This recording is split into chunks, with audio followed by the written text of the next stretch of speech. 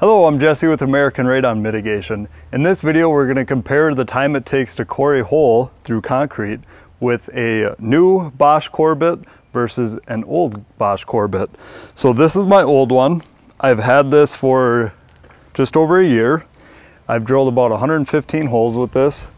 This is carbide, uh, these are carbide teeth, and it's a five inch rotary hammer core bit. So here's the packaging for my new one.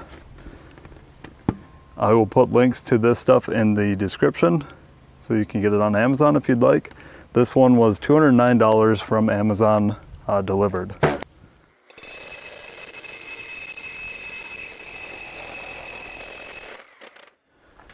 All right, so that took about four minutes to get to the point where it bottomed out. This is the new, new one. I've drilled one hole with it.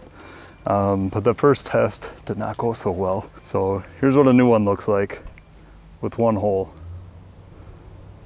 So we'll repeat that test and see how long that one takes.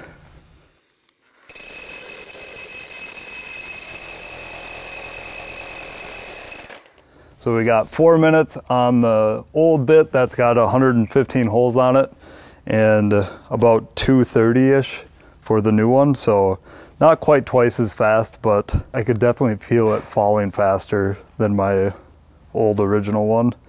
So that concludes this test. I'm Jesse with American Radon. Thanks for watching.